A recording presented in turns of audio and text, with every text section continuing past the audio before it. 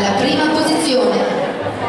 Vi farei un altro grandissimo applauso a tutte le coppie che hanno partecipato, che hanno ballato, che sono impegnati a farvi divertire questo pomeriggio. But thank you again to all of the couples who participated in this match, who came from all over the world and danced for us.